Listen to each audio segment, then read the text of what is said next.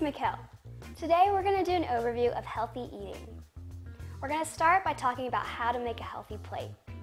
We're going to go over what plate size to use, how to divide up your plate, and we're going to do a sample meal. Picking the right plate size is the first step. This plate, for example, is too small. This plate is too large.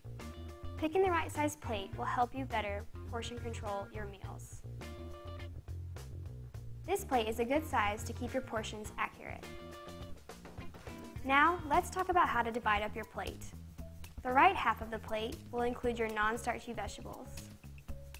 The left half of your plate is divided in half, and the top fourth portion is your starchy vegetables and grains. The lower fourth portion is for protein. You can add a side of fruit and a drink.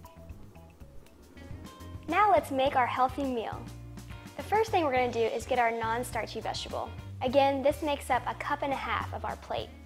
It's the biggest portion, and so again, it's the right half of your plate. Today I have broccoli, lettuce, carrots, and some radish.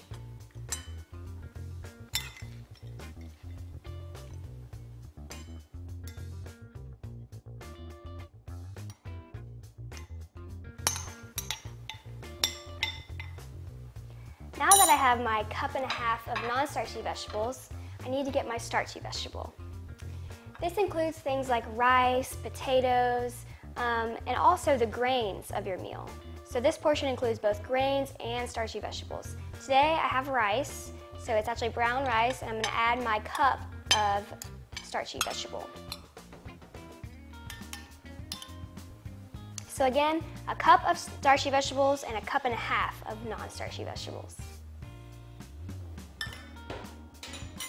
Now that we have our non-starchy and starchy vegetable, we need to add our protein.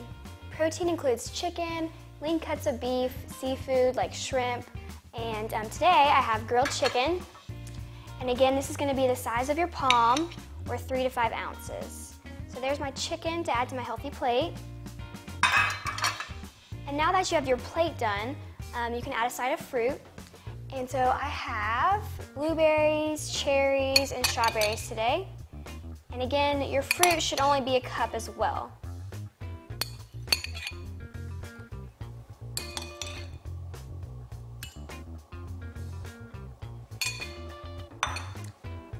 And to drink with your meal, you could have a glass of water or a glass of milk, um, but we do want to stay away from things like Gatorade, fruit juices, and sodas.